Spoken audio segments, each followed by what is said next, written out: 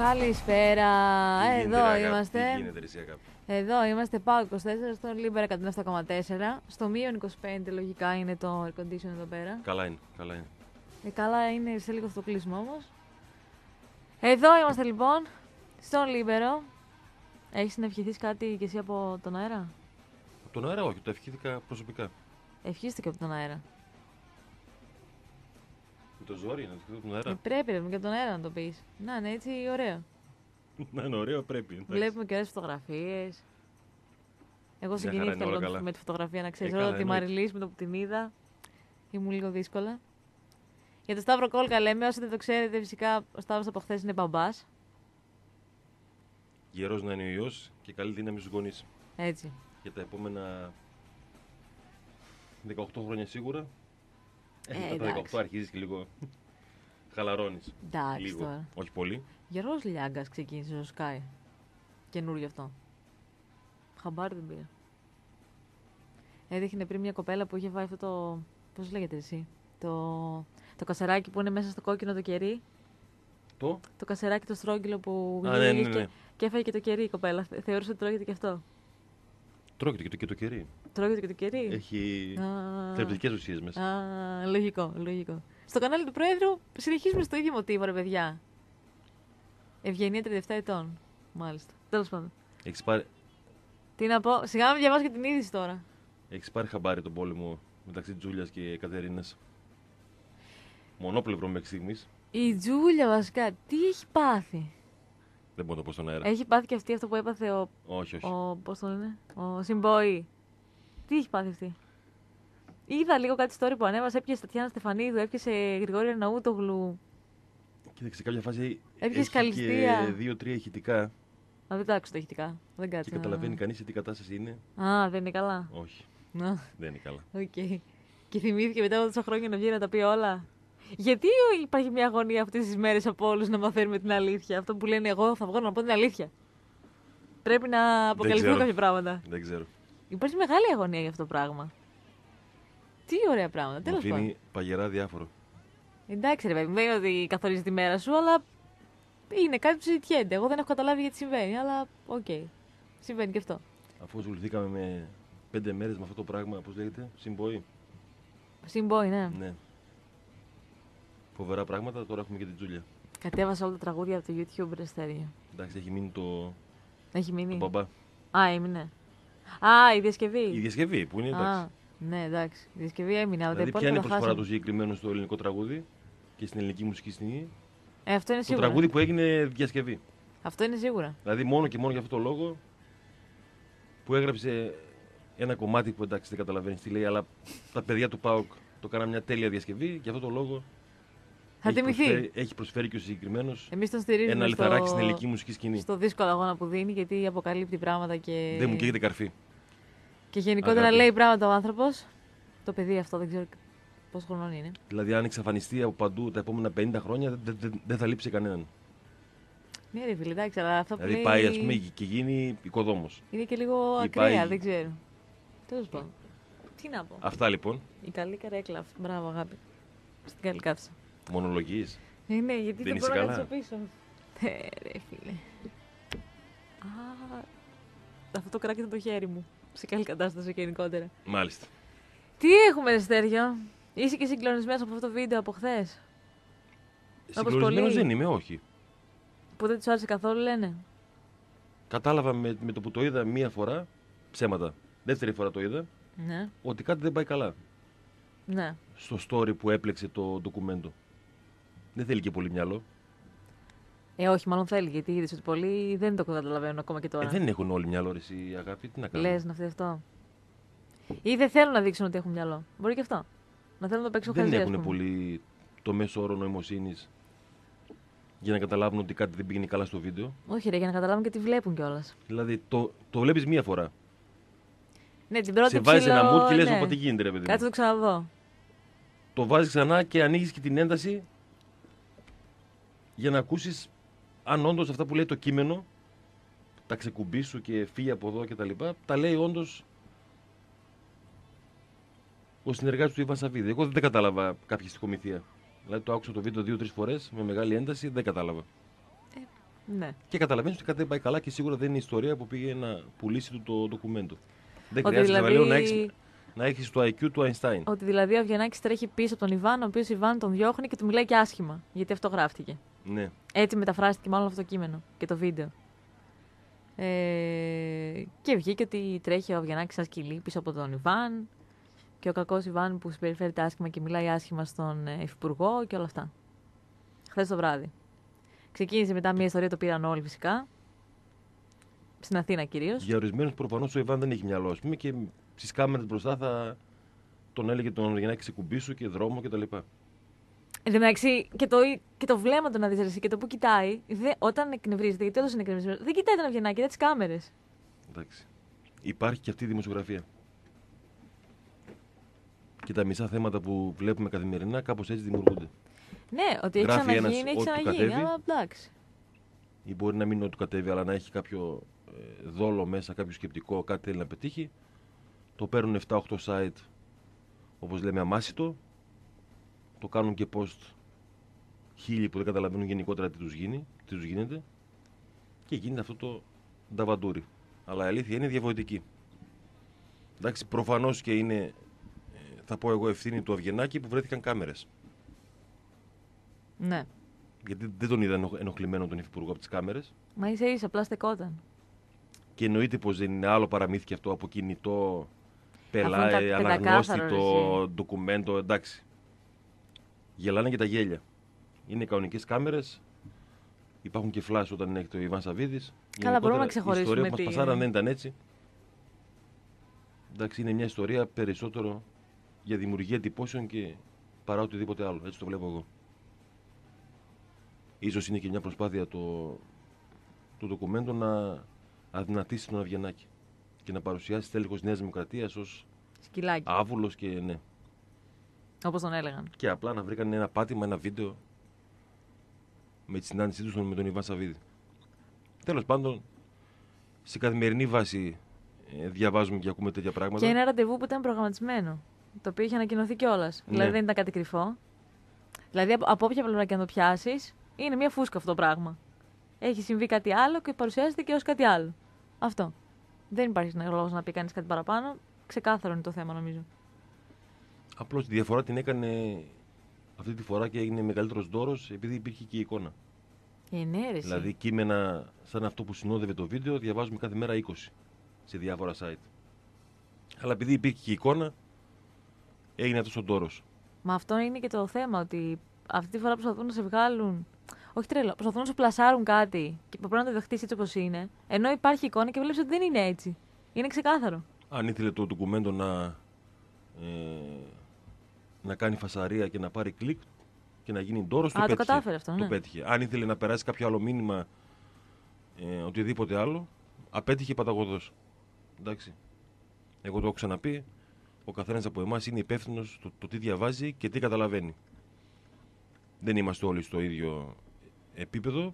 Εννοείται πως δεν λέω ότι εγώ είμαι ο, ο φωτεινός παντογνώστης και τα ξέρω όλα. Ε, δύο-τρία πράγματα μπορώ να τα καταλάβω. Υπάρχουν άλλοι που καταλαβαίνουν πέντε και υπάρχουν άλλοι που καταλαβαίνουν μισό. Και άλλοι που δεν κα- δεν καταλαβαίνουν τίποτα. Όχι, όντως αυτή τη φορά Έτσι νομίζω είναι η όλοι το κοινωνία κατάλαβαν μας. από την αρχή. Κανείς δεν Ε, μην τσίμπησε παίρνει αυτό και το όρκο, πράγμα. εντάξει. Εντάξει, τώρα σου λέω, μερικοί που ήθελαν, οκ. αλλά αυτοί που νιώθουν και είδαν και το βίντεο κατάλαβαν τι συνέβη. Δεν χρειάζεται καμία επεξήγηση. Εντάξει. Τι παραπάνω να πεις για αυτό το πράγμα. Όχι, Αυτή δεν είναι που πεις κάτι υπάρχει. άλλο. Ε, Είναι κου- κουβέντα για μένα τριών λεπτών. Αυτό. Ε, Δεν κανονικά. είναι ούτε θέλει πολλή ανάλυση, ούτε να στήσουμε εκπομπές πάνω σε αυτό και έτσι και αλλιώς και γιατί ο Ιβάν και γιατί ο Αυγενάκης και πού οι κάμερες και γιατί. Οκ. Έγινε ο θόρυβος. Θα περιμένουμε το επόμενο. Στέλνει για το πρωτάθλημα που περιμένουμε να ξεκινήσει. Μπας και έχουμε κάνει έναν αγώνα γιατί πολύ ησυχία έχει πέσει. Αγώνα δεν θα έχουμε παλεύεται άλλο αγάπη. αυτό. Τι έμεινε; Δύο μέρες έμειναν γιατί Δύο δεν, 24 ώρα. δεν παλεύεται άλλο αυτό το πράγμα. Πρέπει να ξεκινήσουν οι αγώνες. Θα κατέβει η ομάδα του Περιστέρη, θα πάρει το διπλό και θα επιστρέψει. Έχει ξανά διακοπή του μεταξύ Οκτώβρη. Νομίζω αρχές Οκτώβρη. Ναι. Γιατί έγινε αυτό το πράγμα; Ε, δεν, δεν θέλω να σου σοκάρω, αλλά πάντα έτσι γίνεται. Ναι, δεν μπορεί να αλλάξει αυτό το πράγμα. Μπορείς να κάνεις ένα mail στην ε, FIFA Θα ήθελα πάρα πολύ να αλλάξει. για να αλλάξεις το Και καλεντάρι. νομίζω της όχι FIFA. μόνο εγώ. Πολύ θα ήθελα να αλλάξει αυτό. Ρε, όλο ο κόσμος αυτό λέει. Αν ξεκινήσει το πρωτάθλημα να έχουμε κανέναν αγώνα. Και όχι μόνο το Super League, γενικότερα. Καλά, τα άλλα αργού- αργούν ακόμα. Γιατί όλα μαζί ξεκινάνε. Ξεκινάει και Super League 2. Δεν σου λέω Super League 2, μωρέ. Σου λέω γενικά για όλη την Ευρώπη. Α, Ναι, περιμένουμε να ξεκινήσει Super League 2, ρε Σταρκέ, με πολύ μεγάλη αγωνία. εντάξει, έχουμε Super και ομάδες League της 2. πόλης, Super League 2. Ε, εντάξει, όχι, δεν περιμένουμε αυτό Θα με έχουμε αγωνία. και στη Football League. Όχι, όχι, τα άλλα Και πρωταθλήματα στη λέμε. Delta Τα League θα άλλα. έχουμε γενικότερα, εντάξει. Και στην ΕΦΣΜ που είναι φίλοι μας. Πέρα από, από αυτά τα πρωταθλήματα, όχι. Εξωτερικό. Να έχουμε λίγο δράση. Κάπου πρέπει να παίξουν και οι εθνικές αγάπη. Καλός ή κακός. Να μην παίξουν, δεν χρειάζεται. Μα κάνουν να σπάρουν ένα ρεπό. Έτσι κι αλλιώς η μία είναι χειρότερη από την άλλη πλέον. Δεν είναι... Μόνο ο Ρονάλντο σκυλιάζει για να βάλει γκολ και στα φιλικά και Και όπου σε θες. πάρα πολλές χώρες δεν έχουν ε, ιδιαίτερη έλλειψη γιατί και τους εμπνέει η εθνική τους και αγαπάνε την εθνική τους. Δηλαδή αυτή η έλλειψη που έχουμε εμείς Ε, δεν πειράζει, νομίζω εμείς να δεν την είμαστε έχουν στην Αγγλία. Δεν πειράζει, εμείς δεν γιατί είμαστε έτσι. Η εθνική είναι σαν θρησκεία στην Αγγλία. Το ίδιο ισχύει και τη Γερμανία, την Ολλανδία. Απλά επειδή εμείς εδώ και χρόνια έχουμε μια εθνική που δεν εμπνέει κανέναν και πραγματικά είναι ένας, η ομάδα ένας θίασο που περιφέρεται από εδώ και από εκεί, γι' αυτό και δεν μας καίγεται καρφί και περιμένουμε πάντα στη διακοπή να φτάσει η ώρα να ξεκινήσει και πάλι το πρωτάθλημα. Α κάνουν στην εθνική ό,τι θέλουν.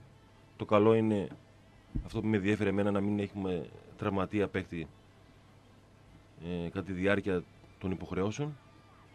Δεν προέκυψε κάτι τέτοιο. Όλα τα παιδιά είναι, που πήγαν για αγώνες έχουν επιστρέψει χωρίς κανένα πρόβλημα και θα κοιτάξει ο Πάοκ να δει τι θα κάνει το Σάββατο. Στις 7 η ώρα η Σέντρα στο Περιστέρι. Τώρα τι, τι, τι θα κάνει η Εθνική και γιατί υπάρχουν και κάποια κείμενα δεξιά και αριστερά ε, ότι θα έχει ο Φάντες είπε με τον Παπασταθόπουλο μια συνομιλία για να τον πείσει να συνεχίσει στην εθνική. Δηλαδή, αν φύγει ο Σοκράτης, θα είναι μεγάλη απώλεια για το ελληνικό ποδόσφαιρο.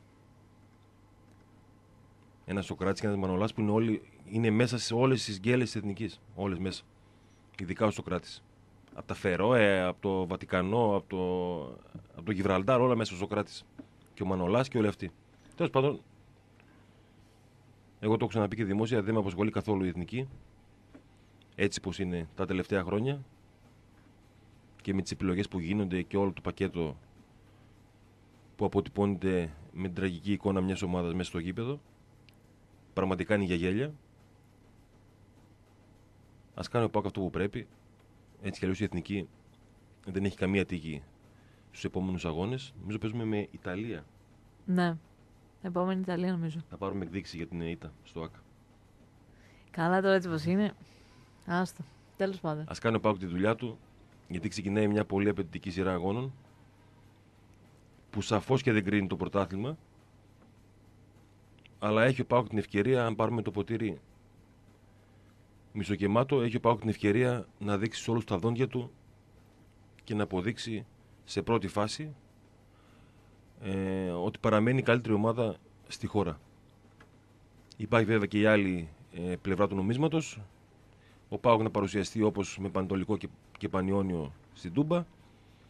Και στη σειρά των αγώνων που ακολουθεί με Ατρόμητο Πε- στο Περιστέρι, ε, Άρης στην Τούμπα, ΑΕΚ στο Άκα και Αστέρα στην Τρίπολη θα έχει σίγουρα, θα σου πω εγώ, απώλεια 5 βαθμών.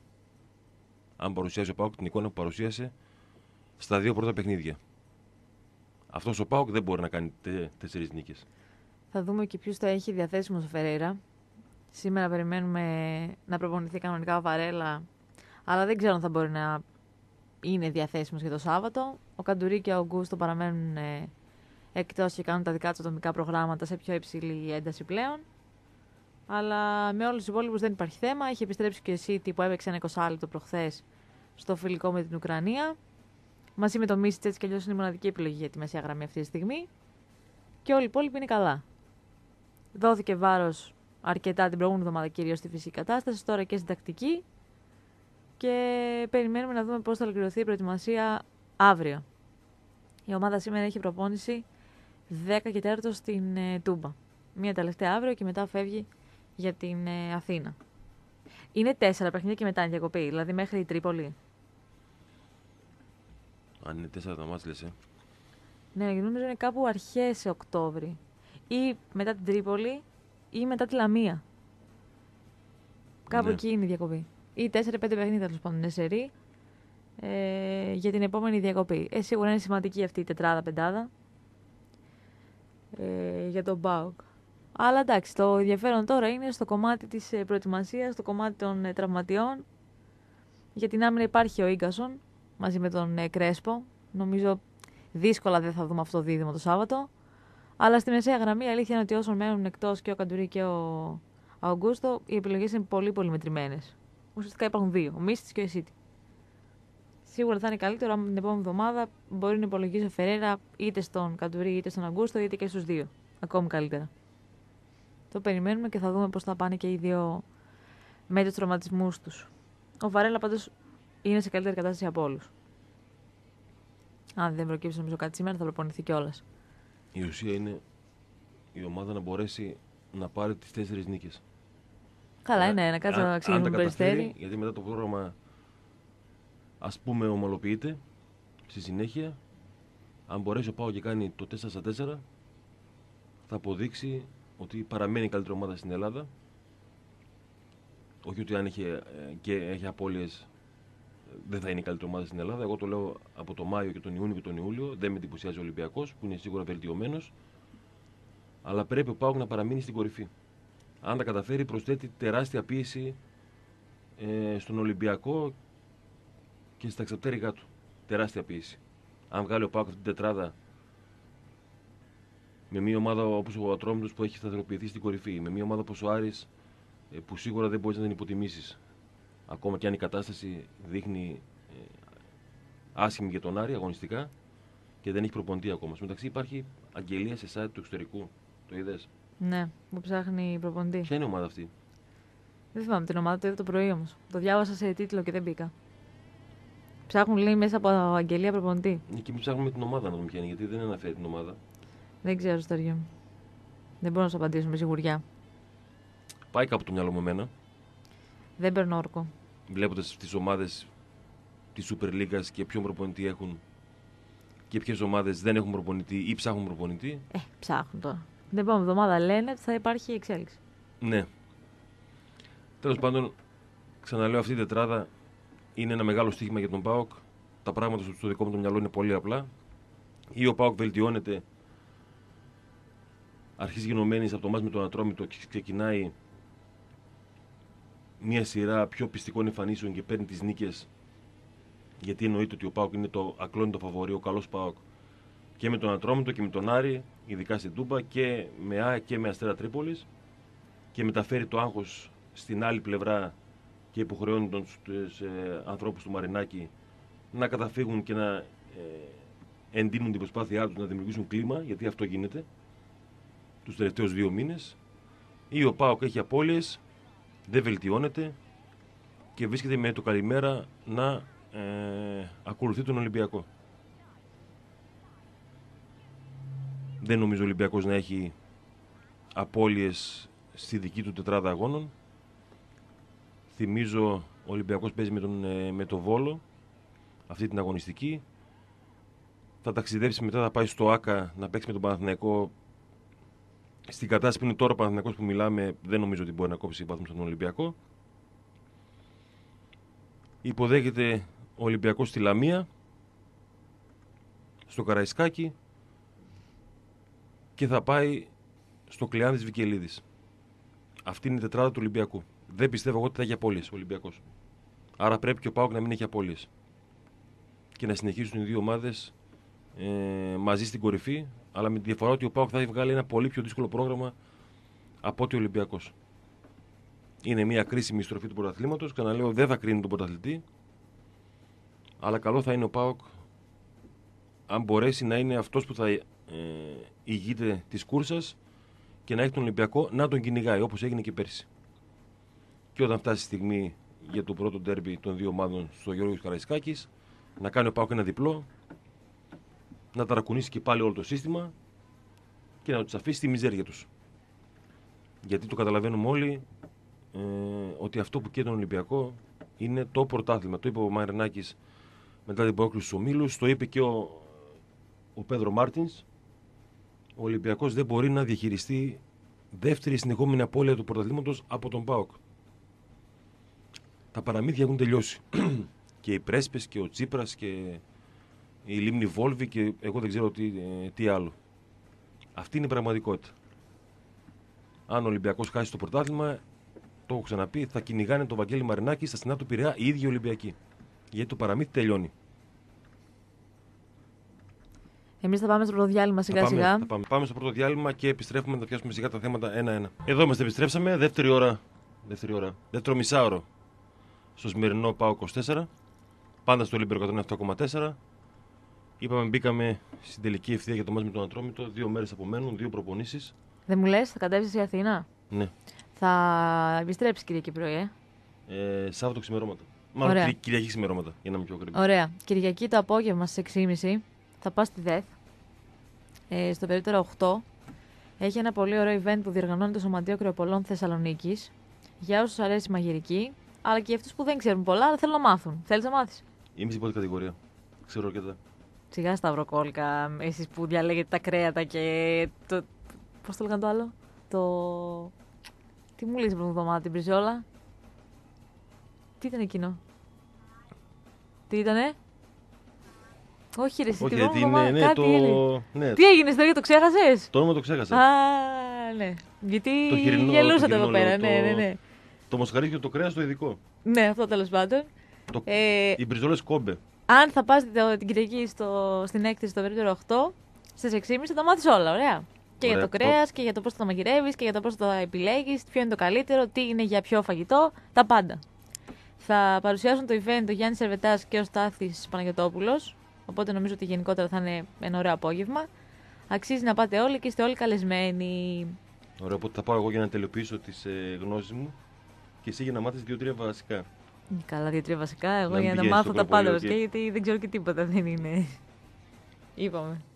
Είναι λίγο δύσκολη η κατάσταση σε αυτό το Δεν θα κομμάτι. υπάρχει αγώνας, οπότε κάνε τα κουμάντα σου. Ε, γι' αυτό είναι Και πάμε πολύ. Είναι ιδανικό νομίζω, 6.30 ώρα. Ένα πολύ ωραίο event που διοργανώνει το Σωματείο Κρεοπολών Θεσσαλονίκης, 6.30. Βγαίνουν ωραία πράγματα γύρω-γύρω από την ομάδα για το πρωτάθλημα. Όπως για παράδειγμα ε, ένα μέτρο το οποίο χαρακτηρίζουν σημαντικό ορισμένοι. Προανήγγειλε ο Υφυπουργός Προστασίας του Πολίτη, Λευτέρης Οικονόμου, για το θέμα που μας ταλαιπωρεί εδώ και 50 χρόνια για την καταπολέμηση της βίας στα γήπεδα. Ναι. Θα υπάρχουν, λέει, αγάπη, ε, όπου γίνονται επεισόδια και έκτροπα σε απόσταση αναπνοή μυστική αστυνομική, Ναι. που θα έχουν πάνω τους κάμερες που δεν θα φαίνονται Μμμ. και θα τραβάνε κοντινές λήψεις από αυτούς που κάνουν τα επεισόδια προκειμένου να γίνει αργότερα η ταυτοποίησή τους. Μμμ. Μπράβο, παιδιά, ωραίο μέτρο. Δεν έχω να πω κάτι αρνητικό. Να βάλετε και αλλού κάμερες όμως. Δηλαδή, δεν ξέρω, αυτές οι κάμερες θα υπάρχουν στο καραϊσκάκι; Ε, μπορεί να μην δεν θα λειτουργούν. υπάρχουν; Μπορεί να υπάρχει δυσκολία στο δίκτυο, δεν ξέρω. Ναι. Κάτι. Γιατί εκεί γενικά υπάρχει θέμα. Τα Γιατί τελευταία χρόνια. Και, και ιστορικά, αν το πάρει κανείς, αυτό που δημιουργεί τη βία τις περισσότερες φορές είναι η ανομία, είναι η αδικία και είναι οι απίστευτες συμπεριφορές από ε, συγκεκριμένους ανθρώπους όλα αυτά τα χρόνια και από συγκεκριμένες ομάδες. Όπως είναι ο Ολυμπιακός. Διάβαζα ε, το πρωί μια συνέντευξη του Χρήστου Κόντι στη ισοσελίδα που είπε ουσιαστικά ότι ε, εντάξει και να μην πόνεσαι λέει ο Γκαρθία από το ρολό Τιμωρήθηκε η, η η κίνηση. συμπεριφορά ναι. Ναι, ναι. Το διάβασα κι εγώ. Δεν είδα να λες κάτι για τη Ριζούπολη Χρήστο Κόντι το 2003 όπου πραγματικά το πώς αυτός το αγώνας ξεκίνησε και τελείωσε και ο Ολυμπιακός δεν τιμωρήθηκε ήταν θαύμα. Δεν είπες κάτι, μάλλον το ξέχασες Χρήστο Κόντι. Ε, καλά τώρα, είναι ένας άνθρωπος της οικογένειας μα τώρα. Τι περίμενες να πει. Ξεκάθαρο ήταν ότι θα πει αυτό το πράγμα. Δεν περίμενα κάτι διαφορετικό, είναι η αλήθεια. Αυτό είπε, οκ. Βγήκε Τέλος το πάντων, είπε. επειδή δεν πρόκειται να ε, βρεθεί άκρη, είναι δεδομένο. Όσοι πιστεύουν τώρα ότι γίνεται προσπάθεια για την καταπολέμηση της βίας και όλα αυτά, εντάξει, εμένα δεν, δεν με αγγίζουν ε, τίποτα από όλα αυτά σχεδόν. Τα ακούω 30 χρόνια σχεδόν. Οι λύσεις είναι απλές για να βρεθούν, αλλά πρέπει να υπάρχει βούληση και σίγουρα όχι δύο μέτρα και δύο σταθμά. Δηλαδή ο Ολυμπιακός και όλοι οι υπόλοιποι. Ή τα προηγούμενα χρόνια η ΑΕΚ στην παντοδυναμία του Δημήτρη Μελισανίδη, αρχές δεκαετίας του 90, όπου ναι, μεν η ΑΕΚ έχει την καλύτερη ομάδα, αλλά γίνανε όργια για να πάρει τρία σερή πρωταθλήματα. Μιλάμε για απίστευτες αποφάσεις. Όσοι ήσταν σε εκείνο το διάστημα ε, ενεργοί φίλαθλοι, μικροί ή μεγάλοι και βλέπατε, σίγουρα θυμάστε απίστευτα πέναλτι, απίστευτες αποβολές αντιπάλων, πέρα από τα σκηνικά στο Members Club της ΑΕΚ τα επόμενα χρόνια κτλ. Ή παλαιότερα ο μεγάλος Παναθηναϊκός με ηγέτη τον Καπετάνιο, το τι ακριβώς γινόταν. Βέβαια, ούτε στα χρόνια της παντοκατορία του Παναθηναϊκού ούτε της ΑΕΚ συνέβησαν αυτά που ε, είδα, που βλέπαμε όλοι επιτυχία Σοκράτη Κόκαλη και συνέχεια Βαγγέλη Μαρινάκη. Σαφώς και υπάρχουν άτομα που δημιουργούν τη βία για τη βία, χωρίς κανένα λόγο, αλλά τις περισσότερες φορές, τουλάχιστον στα γήπεδα, άλλα είναι τα πράγματα που εξοργίζουν τον κόσμο. Και κάποιοι το έχουν κάνει επιστήμη για να προκαλούν τη βία. Και στη συνέχεια να βγαίνουν ε, με ένα ύφος ότι ναι, καταδικάζουμε τη βία και όλα τα ε, συναφή. Στον μεταξύ έχει κάνει και ο Βιενάκη κάτι δηλώσεις για το ΒΑΡ από χθες. Μια τοποθέτηση περισσότερο, όχι δηλώσεις. Ε, που αφήνει κάποιες αιχμές και για τη λειτουργία του αλλά και για την ε, FIFA και την UEFA και το ρόλο τους εδώ.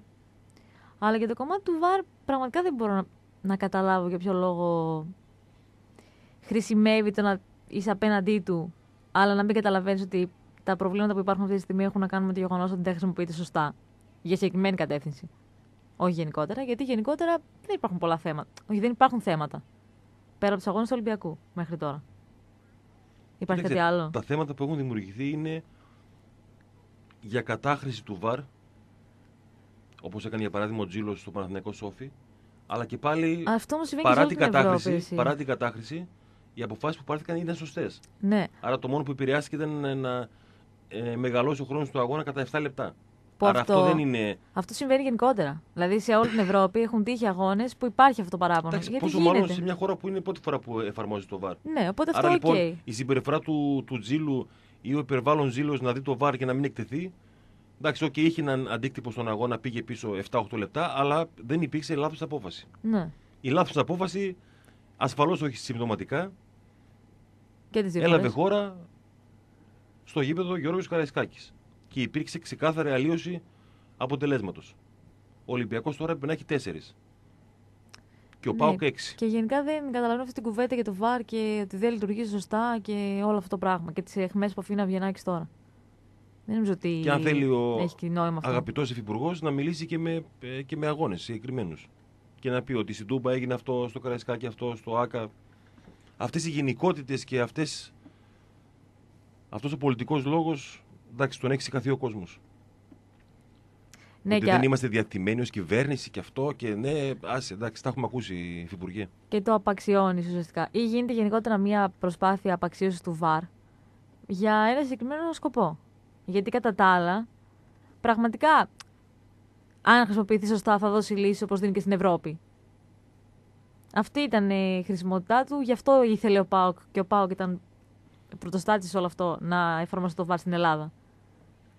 Εδώ η αγάπη δεν μάθαμε και δεν θα μάθουμε ποτέ γιατί δεν έφτασε εικόνα στον ε, κουμπαράκι. Καλά, εκεί δεν πρόκειται να βγάλεις άκρη ποτέ. ποτέ. Σου πέταξαν ένα τεχνικά προβλήματα. Ναι, τώρα ναι. και τελείωσε η ιστορία. Εκ των υστέρων ότι έγινε αυτό, αλλά δεν μπορεί να αλλάξει και τίποτα τώρα. Τι να κάνουμε, έγινε. Ε, και τι να κάνουμε, εντάξει. Τι να κάνουμε. Εγώ αν ήμουν απέναντι, θα έφεραν τα πάνω κάτω. Ε. Μέχρι να μάθω γιατί δεν έφτασε η εικόνα στον κουμπαράκι. Πολλά ακούστηκαν. Δεν μπορώ να πω ότι φταίει ένας συγκεκριμένα. Δεν ξέρω ποιο δεν, δεν ξέρω ποιος φταίει. Να βγουν ναι. και να μάθουν και, και να μας πούνε. Φταίει ο Τζοβάρας, φταίει κάποιος άλλος, φταίει ε, το καλώδιο που δεν ε, έκανε καλή επαφή, φταίει το συνδρομητικό, φταίνε όλοι μαζί. Δεν φταίει κανένας, αλλά φταίει. Ε, ε, κά, κάποιος φταίει. Και αν όντως είναι τεχνικό πρόβλημα, να μας πούνε γιατί είναι το τεχνικό πρόβλημα αυτό, γιατί συνέβη. Δεν γίνεται να περνάνε όλα έτσι. Ο, Τζοβαρά, ο Τζοβάρας συνεχίζει και σφυρίζει. Από τη στιγμή που δεν έχουμε και πολλούς πιστοποιημένους διαιτητές, αυτό είναι το, η ιστορία η φετινή. Ο Κουμπαράκης μια χαρά και αυτό συνεχίζει και όλοι συνεχίζουν. Και ο Ολυμπιακός έχει 6 βαθμούς. Και δεν ακούγεται πουθενά αυτό το πράγμα. Ούτε το διαβάζεις πουθενά. Πάει, τελείωσε. Καλά, πολλά πράγματα δεν διαβάζεις πουθενά. Και στο, σε αυτό το κομμάτι και στο τηλεοπτικό κομμάτι που γίνονται και εκεί διάφορα. Όλο αυτό το διάστημα. Πάλι ο Πάουκ ήταν αυτός που μίλησε. Πάλι ο Πάουκ ήταν αυτός που τράβηξε το δρόμο του. Μία διαρροή έχει βγει από την ΑΕΚ ότι αν όντως προχωρήσει η εξαγορά της Νόβα, κάνουμε δικό μας κανάλι. Δεν νομίζω, το λέγαμε και χθες με τον Νίκο, δεν νομίζω πραγματικά ότι ούτε, ούτε οι αξίδε πλέον το πιστεύουν αυτό. Πρέπει και οι ίδιοι να γελάνε. Αλλά εντάξει. Ε, οπότε κάνει γενικά είναι μια προβληματική Εδώ δεν κατάσταση. έχουν βενζίνη παίξει στη ΣΑΚ να πάνε σπίτια τους. Γιατί τι έγινε; Καλά, μια άτυχη στιγμή ήταν αυτό, ρε. Κυκλοφόρησε τη φωτογραφία. Άμα, Εντάξει. το- άμα του δώσουν του παιδιού τσίμα τσίμα τα λεφτά να βάλει βενζίνη. Όχι, ρε. και Έλα, έμεινε. εντάξει. Όχι. Ε, όχι. Ήταν κάτι που μπορεί να τύχει σε όλους. Τι να κάνουμε. Έγινε και αυτό. Στο παιχνίδι της ΣΑΚ, ποιο ήταν ε, δεύτερη αγωνιστική; Είχε στο, στο ΑΚΑ ε, πρώτη αγωνιστική.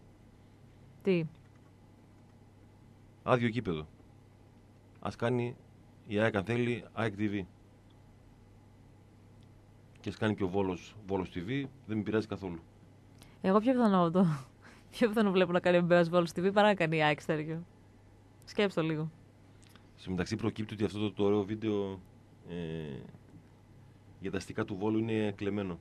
Δεν πειράζει Δεν όμως. το έχω δει. Τι; Διαφημίζουν με ένα ωραίο βίντεο τα νέα αστικά του Βόλου. Ναι.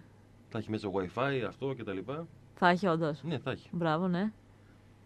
Πραγματικά πολύ ωραίο βίντεο που απέσπασε έτσι μόνο θετικές κριτικές και μοντέρνο και γρήγορο και σπιντάτο κτλ. Απλώς προέκυψε ότι το έχει κάνει, δεν θυμάμαι ποια πόλη, πριν από κάποιο καιρό. Δηλαδή πήραν το βίντεο το ξένο, το κάναν αντιγραφή. Δεν με πειράζει. Ε, εμένα καλά, αυτό. δεν υπάρχει με παρθενογέννηση πειράζει. μόνο στο σε τίποτα. Δεν πειράζει. Σου μείνε ένα. Σου μείνε. Όχι, εγώ μόνο, μόνο μπράβο έχω να πω για το Δήμο Βόλου. Εντυπωσιάστηκες, εντυπωσιάστηκες. Άρα πετυχημένο ήταν. Οκ, υπήρχε ένα φορμά, εντάξει. Εμείς με το Βόλο είμαστε. Σαν πόλη. Χθες με τον Νίκο είχα διαφωνία, έλεγε Τρίκαλα. Και αυτή εδώ η Αναστασία. Τρίκαλα ή Βόλο, λες εσύ; Κοίταξε, δεν μπορώ να κρίνω γιατί έχω πάει ε, 10 φορές στο Βόλο και μία φορά στα Τρίκαλα. Α. Μια χαρά τα Τρίκαλα. Σε σχέση με το βόλο, ρε, εσύ δεν, δεν Καλύτερα βλέπει από τα βόλο. καλά. Στο βόλο υπάρχει ανάπτυξη. Μπαίνεις στην πόλη και βλέπεις Ε, πράγματα. Καλά, μην τρελαίνεσαι τώρα. Εντάξει, υπάρχει ανάπτυξη. Υπάρχει ανάπτυξη, Μην, ρε, ε, Στέριο. μην τρελαίνεσαι. Άσε. Σε σχέση με τις άλλες πόλεις. Αυτό που λέει ο Σταύρος είναι σε πολύ μεγάλο βαθμό αλήθεια. Τι; Ότι φτιάξαν λίγο την είσοδο. Εντάξει, δεν υπάρχει στο Βόλο ανάπτυξη. Ε, καλά, αυτή η πόλη πόσο μπορεί να αλλάξει. ρε, Εσύ, τι, τι είναι, ένας ούτε καν κεντρικός δεν είναι. Με τα καταστήματα δεξιά-αριστερά, ένας μικρός δρόμος, ε, και αυτό είναι. Η ανάπτυξη που υπάρχει στα Τρίκαλα είναι πολύ μεγαλύτερη από ό,τι υπάρχει στο Βόλο. Ε, τώρα. Εγώ με βόλο είμαι. Απλώς ο Βόλος έχει το λιμάνι, εντάξει, πάντα αναβαθμίζει μια πόλη. Αλλά αυτά που έχουν γίνει στα Τρίκαλα και μπράβο και στους ανθρώπους είναι πρωτοποριακά. Εδώ είχαμε και αστικό χωρίς οδηγό. Σε πιλωτική τέτοια πριν από χρόνια. Εντάξει, κάπου, κάπου στούκαρα βέβαια το λεωφορείο. αλλά συμβαίνουν, εντάξει, γι' αυτό ήταν και πιλωτικό. Πω. Δοκιμαστική χρήση. Σοβαρά. Όταν θα είμαστε έτοιμοι. Ούτε αυτό το είχα δει. Είχε γίνει αυτό. Ναι. Και αστικό στούκαρε χωρίς το οδηγό. αστικό. Και κάπου χτύπησε. Εντάξει, συμβαίνουν. κάπου χάθηκε το, το GPS. Έφυγε το λεωφορείο λίγο παραπέρα. Αυτά καλό είναι να συμβαίνουν στην αρχή για να μην γίνουν στην πορεία. Πάλι μια, χα- καλά. Μια χαρά είναι τα, τα τρίκαλα. Μάλιστα. Εγώ στηρίζω βόλο, εσεί στηρίξτε όλοι. Εμείς εδώ τρίκαλα. στην πόλη μας να δούμε τι θα κάνουμε. Καλά, εδώ. Περίμενε. Εδώ. Ε, περιμένω. Εντάξει. Είδες και σήμερα έχει τροχονόμου. Λεωφορεία δεν έχει στους δρόμους, αγάπη. Μια, εγώ δεν ήρθα πολύ νωρίς και είχε, δεν είχα θέμα. Και η Μαριλή μου που δυσκολεύτηκε πολύ. Που ήρθε κατά τις 9. Δεν ξέρω τι έγινε μετά. Γιατί; Όπως περνώντας για να μπω σε ταξί για να έρθω, γιατί το έχω πάρει απόφαση ότι δεν, το λεωφορείο δεν υπάρχει περίπτωση πλέον. Ναι. Ε, στη στάση ε, Μπότζαρη με Όλγα είχε πιο πολύ κόσμο από ό,τι είχε στο ΑΕΚ Ξάνθη. ναι. Γιατί έβλεπες ότι το τάδε σε 20 λεπτά, το άλλο σε 25 και το άλλο δύο μέρες. Γιατί έτσι πρέπει πρωί. Εντάξει. Περίεργο. Το θέμα του ΑΣΤ. Ναι. Α τα δουν και οι υπεύθυνοι. Α κάνει και ό,τι μπορέσει και ο Δήμαρχος, γιατί ήταν από τα βασικά από τις βασικές υποσχέσεις του ότι θα μπει ο ίδιος στο Διοικητικό Συμβούλιο του ΑΣΤ για να βρεθεί μια λύση, γιατί αυτό δεν είναι εικόνα πόλης. Πόσο μάλλον μια πόλη σαν τη Θεσσαλονίκη. Ναι. Δύσκολη κατάσταση εκεί. Και αν στην περίοδο έκθεσης είναι αυτή η κατάσταση, αν μας τελειώσει και η έκθεση, μπορεί να κάνουν το λεωφορείο να έρχονται ανά 50 λεπτά. Εντάξει.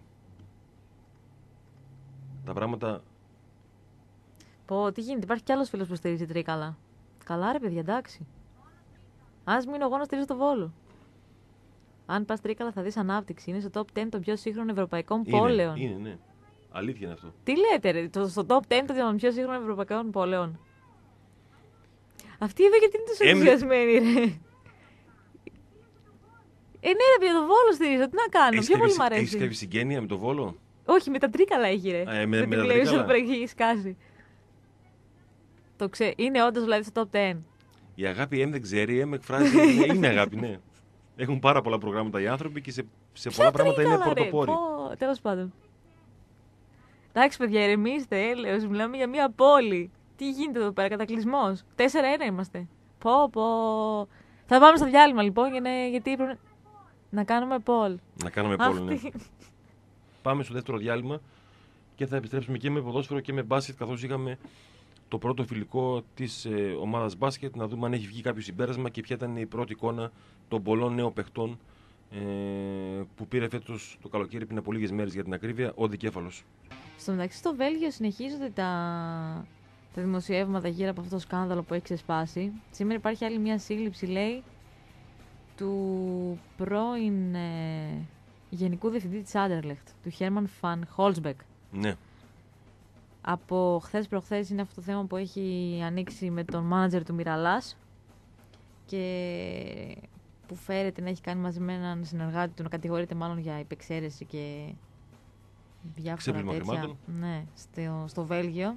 Μία ακόμη επιχείρηση εκεί πέρα και στο Βέλγιο λέει και στο Λονδίνο και στο Μονακό. ναι. Τι λες και συντονισμένη επιχείρηση, Στέργιο; Το λες ότι ψάχνουν γενικά το τελευταίο διάστημα; Εκεί. Και όταν ψάχνουν, ψάχνουν αγάπη. Ναι, και Γιατί είναι αυτό ότι δεν σταματάνε ένας- και σε πρόσωπα. Ναι. Αυτό Είτε καταλαβαίνουμε. μιλάμε για επεξαίρεση, είτε μιλάμε για στημένους αγώνες, δεν μπορεί να εμπλέκονται μόνο ε, δύο ή τρία άτομα. Εμπλέκονται μάνατζερ, εμπλέκονται ποδοσφαιριστές, εμπλέκονται προπονητές, εμπλέκονται πρόεδροι και εμπλέκεται όλη η καλή κοινωνία. Ε, ναι, βλέπεις, κάθε μέρα κάτι καινούριο βγαίνει.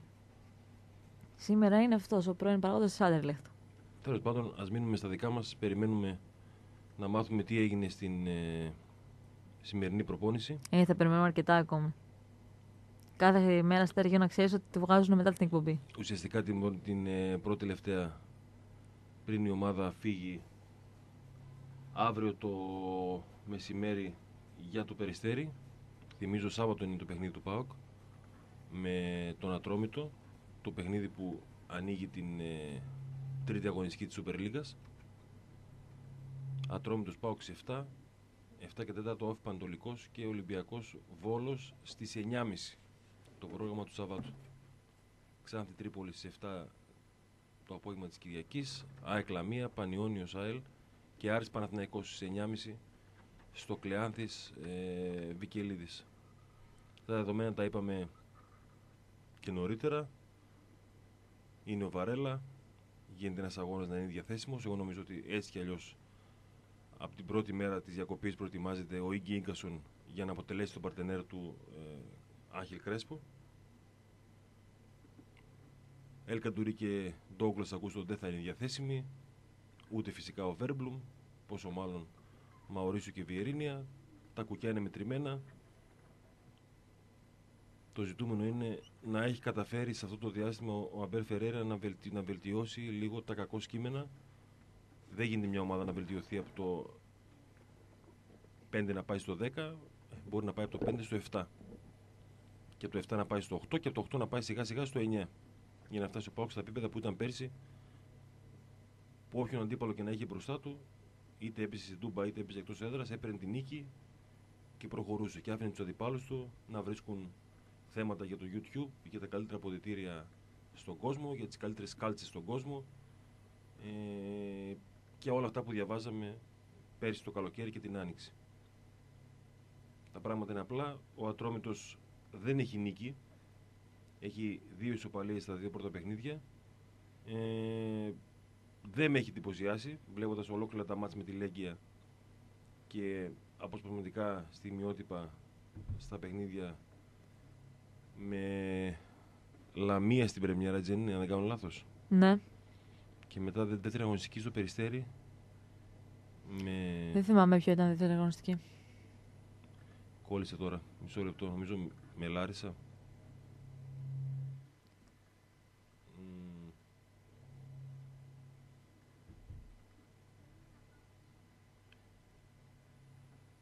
Εντάξει, μην κολλάς τώρα σε ποιο αγώνα ήταν. Κόλλησε και στο το site της Super League. Άστο, δεν πειράζει, τι να κάνουμε. Στις γενικές γραμμές πάντως ο Ατρόμητος σίγουρα ε, παραμένει μια ομάδα που ειδικά στην έδρα της μπορεί εύκολα να κάνει τη ζημιά στον οποιοδήποτε. Ακόμα και αν αυτός είναι ο αίτητος πρωταθλητής ΠΑΟΚ. Οπότε καλό θα είναι η ομάδα να παρουσιαστεί όπως πρέπει να παρουσιαστεί. Να ξεκινήσει επιτέλους να μην δέχεται γκολ. Και αν το καταφέρει αυτό, θα είναι η βάση πάνω στην οποία ο ΠΑΟΚ θα χτίσει για να πάρει τους τρεις βαθμούς. Και να Έχει, φτάσει. έχει και ατρόμητο θέματα βέβαια. Έχει τα θεματάκια του. Το λέγαμε και χθες με τον ε, Νίκο. Ε, είναι αρκετοί παίκτες που αντιμετωπίζουν ε, μικροπροβλήματα και θα μείνουν εκτός. Αλλά εντάξει, το σημαντικό είναι αυτό που λες. Ο Πάοκ να κάνει τη δουλειά του, να ξεκινήσει καλά τη νέα σειρά αγώνων. Ε, εγώ δεν περιμένω θεματική αλλαγή γιατί έχω στο μυαλό μου ότι την προηγούμενη εβδομάδα δούλεψαν κυρίως στη φυσική κατάσταση. Οπότε θα είναι λίγο και αυτό το κομμάτι κάπως. Και είναι αναγκαστικό αυτό γιατί έχουμε πάρα πολλές φορές ότι στην προετοιμασία ο Πάοκ δεν έδωσε τόσο μεγάλη βάση στο, στη φυσική κατάσταση γιατί ήταν τα παιχνίδια με τον Άγιαξ πολύ κοντά. Οπότε το μυαλό του ήταν εκεί. Προσαρμόστηκε ουσιαστικά η προετοιμασία σε αυτά. Οπότε τώρα με- μέσα από τους αγώνες και μέσα από την καθημερινότητα ο Φεραίρα πρέπει να δουλέψει και σε αυτό το κομμάτι πολύ με την ομάδα του. Είναι και αυτό ένα ζήτημα. Περιμένουμε να δούμε δηλαδή ποιοι παίκτες θα επιβαρύθηκαν πιο πολύ το προηγούμενο διάστημα και τώρα θα πρέπει λίγο να, να υπάρξει μια ισορροπία. Ναι. Σίγουρα μέσα από αυτό το κομμάτι θα, θα υπάρξει και rotation, έτσι. Σε αυτούς τους αγώνες. Τώρα σε πρώτη φάση και αναγκαστικά, γιατί είπαμε είναι οι τρεις που μέχρι και σήμερα δεν προπονούνται κανονικά. Θα δούμε αν προπονήθηκε ο Βαρέλα σήμερα. Οπότε αναγκαστικά θα, θα γίνουν διάφορες αλλαγές το Σάββατο, αλλά και από εκεί και πέρα θα πρέπει στη συνέχεια λίγο να ανακατευτεί η τράπουλα, λίγο να δούμε ποιοι είναι καλά και ποιοι δεν είναι. Μετά από ένα διάστημα που όντως υπήρχαν διάφορα θέματα στην ε, ομάδα. Το καλό είναι ότι τώρα που έκλεισε και το θέμα του Μπράνκο, λίγο ξεκαθαρίζει το τοπίο εκεί, γιατί και αυτό δεν ήταν καλό, να συντηρείται όλο αυτό το θέμα μία και δύο εβδομάδες. Έχει κλείσει αυτό το κομμάτι, έχουμε πει ότι ο Μπράνκο μένει ε, και νομίζω πλέον λίγο υπάρχει ηρεμία και εκεί, στο αγωνιστικό. Ναι. Με τη Λάρισα ήταν όντως ο Ατρόμητος στην Πρεμιέρα. Ατρόμητο Λάρισα 1-1 και το Λαμία Ατρόμητο 2-2 που στιγματίστηκε με την καλή την έννοια με την κολάρα του, του Βέλιου. Ναι, που δύσκολο να μπει πιο ωραίο γκολ. Πραγματικά πολύ ωραία κίνηση εκείνο το παιχνίδι. Εγώ προτιμάω αγάπη το γκολ του Βιερίνη. Όχι, ρε, εκείνο είναι. Και όταν επιστρέψει ο όχι, αρχηγός, όχι, όχι, Θα όχι. βάλει κι άλλο. Του Βέλιο είναι όλη η κίνηση και το, το, το σκέφτεται και το κάνει, είναι άστο. Δεν υπάρχει. Ε, έχει θέμα από Κιβρακίδης, έχει θέμα και ο Μέγερη, που χθες προπονήθηκαν ατομικά. Εκτός είναι ο Χαρίσης, ήταν μάλλον, γιατί δεν ξέρω για σήμερα ακόμα, λόγω ίωσης. Ο Χαρίσης βέβαια, αν είναι ίωση, ε, θα υπολογίζεται νομίζω και το Σάββατο. Και έχει χτυπήσει και ο Ανδρούτσος, έπαθε διάστρεμα και μάλλον χάνει και αυτός το παιχνίδι του Σαββάτου. Οπότε ο Αναστασίου έχει κάποια μικροθέματα κι αυτός. Ο Πάουκ πρέπει να βρει τρόπο να κρατήσει την αιστεία του ανέπαφη για πρώτη φορά φέτος. Όχι ότι αν δεν τα καταφέρει δεν θα μπορέσει να κερδίσει, αλλά σίγουρα το έργο του θα γίνει ε, πολύ πιο δύσκολο στο περιστέρι. Σε ένα μικρό γήπεδο, με τις ιδιαιτερότητές του, ο Πάουκ πρέπει σιγά σιγά, ξαναλέω, να βγάζει παιχνίδια χωρίς να δέχεται γκολ. Εκεί πάνω πρέπει να χτιστεί η επιτυχία. Δεν νομίζω να είναι και το ιδανικό να βλέπουμε ένα ΠΑΟΚ να βάζει τρία γκολ να δέχεται δύο ή να βάζει δύο να δέχεται ένα. Κάποια στιγμή, όταν πας σε αυτό το μοτίβο, θα υπάρξουν και απώλειες βαθμών. Είναι μαθηματικά βέβαιο και ιστορικά αποδεδειγμένο. Άρα πρέπει ο ΠΑΟΚ να αρχίσει να ε, χτίζει μία άμυνα που θα είναι αδιαπέραστη. Και όταν θα μπορέσει να κρατήσει το 0, θα βάλει γκολ ο Άκπομ, θα βάλει ο Σβιντέρσκι, ο Πέλκας, ο Μπίσεσβαρ, ο Λιμιό, ο Ζαμπάθ, θα πει το γκολ. Είναι δεδομένο. Το θέμα είναι πώς θα καταφέρεις να ε, διορθώσεις τα λάθη τα αμυντικά. Είτε σε σετ παιχνίδι, είτε σε στιμένες μπάλες, είτε σε καθεστώς που ο αντίπαλος κάνει αντεπίθεση. Δεν είναι καλό να δέχει γκολ σε κάθε παιχνίδι. Ένα ή δύο. Άρα λοιπόν, συμπερασματικά, αν ο Πάο καταφέρει και είναι σοβαρός στην άμυνα στο περιστέρι, νομίζω ότι θα πάρει του τρεις βαθμούς και θα φτάσει στους 9 μετά από τρία παιχνίδια και θα δει μετά πώς θα προετοιμαστεί καλύτερα για το μάτς με τον Άρη στην Τούμπα. Ένα μάτς τον Άρη το οποίο θα το παρακολουθήσει ο κόσμος μέσα από το PAOK TV. Περιμένουμε και για εκεί διάφορες ανακοινώσεις μέχρι και αύριο από ό,τι έβγαινε από την ΠΑΕ τις προηγούμενες ημέρες. Περιμένουμε να δούμε τι θα ισχύσει για τα πακέτα που θα βγουν για όλη τη σεζόν. Αν θα υπάρξει ένα συνολικό, αν θα υπάρξουν πολλά μικρά για διάφορες σειρές αγώνων, το οτιδήποτε θα, θα ανακοινωθεί από τον ΠΑΟΚ. Έχουμε πολλές φορές ότι είναι στρατηγική απόφαση πλέον να συνεχίσει ο ΠΑΟΚ με το ΠΑΟΚ TV. Μία απόφαση δική του και όχι αναγκαστική. Ε, και περιμένουμε τώρα μέχρι αύριο να δούμε τι, θα, τι έχει αποφασιστεί σε πρώτη φάση, τι βελτιώσεις έχουν γίνει ενδεχομένως, τι ε, δουλεύουν τόσο καιρό στον ΠΑΟΚ και όλα αυτά. Στο κομμάτι των πακέτων έχει ενδιαφέρον γιατί πολλοί κόσμος ρωτάει και περιμένει για να κανονίζει ο καθένας τι θέλει να κάνει. Με το που υπάρξουν ανακοινώσεις, θα το μεταφέρουμε και εμείς εννοείται. Ναι. Για το κομμάτι του ΠΑΟΚ TV. Σημαντικό θέμα για αυτό. Ανεξάρτητο όμως θεωρώ εγώ από την αγωνιστική ε, παρουσία του ΠΑΟΚ. Ε, καλά, είναι, εννοείται άλλο αυτό. κομμάτι το ένα, άλλο κομμάτι το άλλο. Ε, εννοείται. Ε, το σημαντικό σε αυτή τη στιγμή, το πιο σημαντικό όλων είναι η ομάδα να αρχίσει να είναι πιο πιστική. Γιατί είναι δεδομένο ότι δεν υπάρχει και τόση εμπιστοσύνη στην ομάδα όπως υπήρχε τον προηγούμενο 1,5 χρόνο. Δεν είσαι δηλαδή τόσο σίγουρος ότι ο ΠΑΟΚ θα πάρει αυτό που θέλει σε κάθε αγώνα. Και όταν τα πρώτα μηνύματα είναι άγχος με παντολικό και άγχος με τον Πανιόνιο στην Τούμπα, δεν το λες και καλό ξεκίνημα. Εντάξει, την έκανε ο Πάοκ τη δουλειά του, αλλά θα πρέπει να βγάζει πιο ξεκούραστα τα παιχνίδια και να παίρνει πιο εύκολες νίκες. Και στην Τούμπα και μακριά από αυτή, εντάξει. Έχουν περάσει οι εποχές που ο Πάοκ μακριά από την Τούμπα ήταν αδύναμος και ήταν είδηση όταν, όταν έκανε δύο συνεχόμενες ε, νίκες εκτός έδρας. Οι εποχές έχουν αλλάξει, ο Πάοκ έχει δυναμώσει, εξακολουθεί να είναι η καλύτερη ομάδα, το λέω συνεχώς. Ο Ολυμπιακός, ναι, μεν πήρε κάποιους παίχτε, αλλά δεν επένδυσε τα χρήματα που πήρε από το Champions League.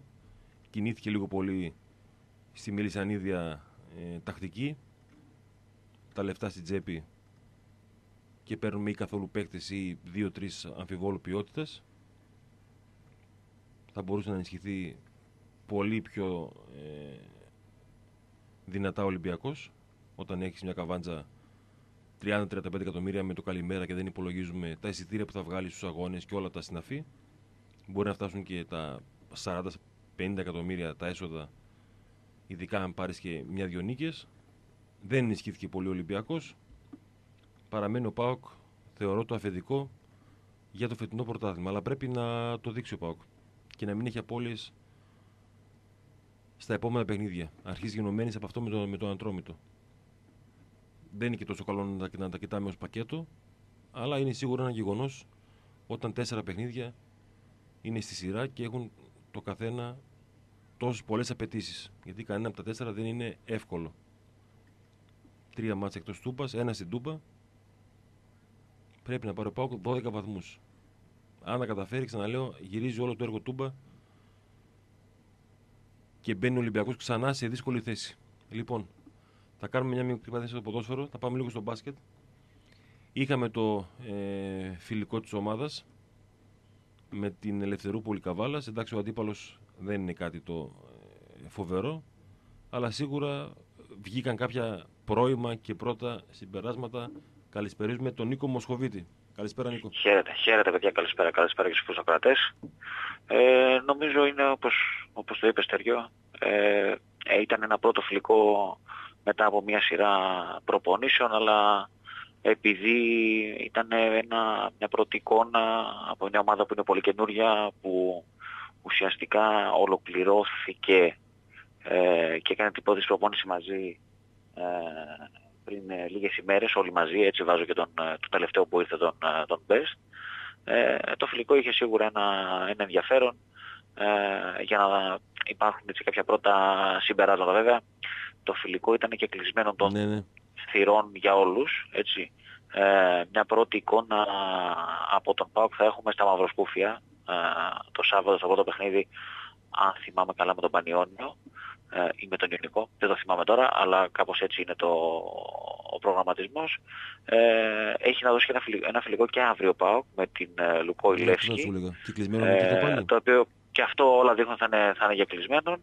Ε, αλλά σε πρώτη φάση σίγουρα ο Φλεβαράκης κάποια πράγματα είδε χθες. Η ομάδα νίκησε με 82-59.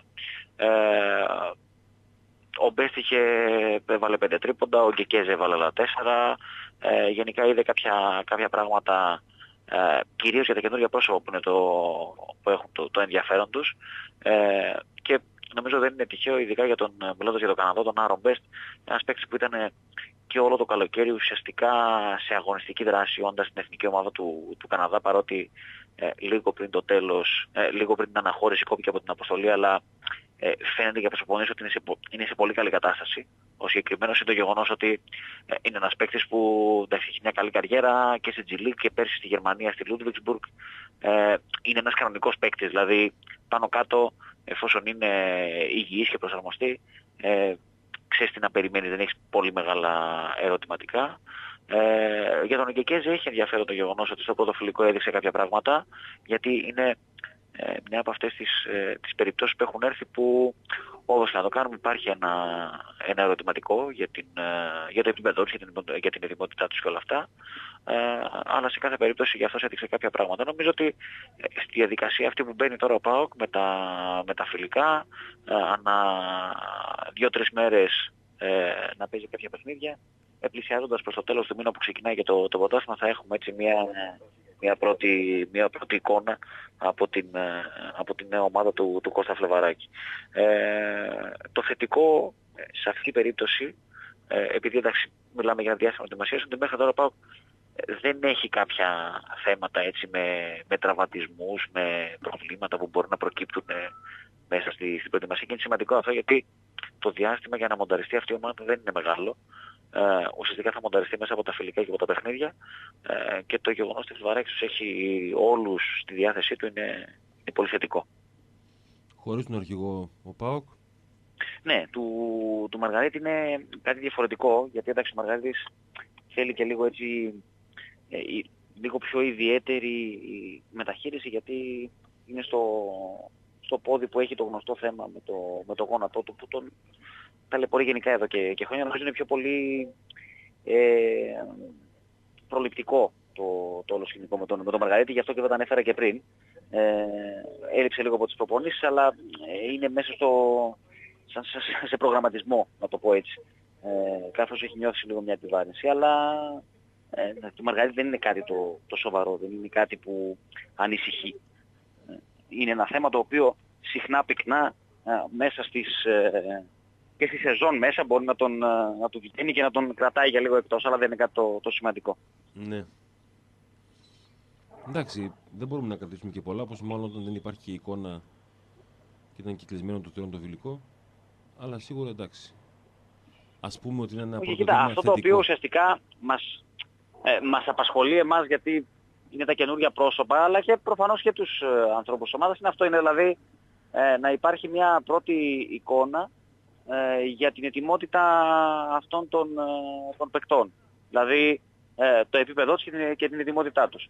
Ε, νομίζω ότι μέσα από αυτά τα φιλικά είναι το, ο καλύτερος τρόπος για να, να βγάλουμε κάποια πρώτα συμπεράσματα. Γι' αυτό έμεινα λίγο παραπάνω στον Εγκεκέζε, γιατί ε, ο, ο Αμερικανός που έχει νιγηριανή καταγωγή είναι λίγο ερωτηματικό εικόνα του, γιατί εντάξει, προέρχεται από άλλο επίπεδο, έτσι και όπως και να το κάνουμε, ε, και όπως και να το κάνουμε είναι λίγο... Δεν ξέρουμε τι να περιμένουμε. Μέσα, θα, μέσα από τα παιχνίδια θα τον, θα τον δούμε. Ε, η πρώτη εικόνα χθες ήταν, ήταν θετική.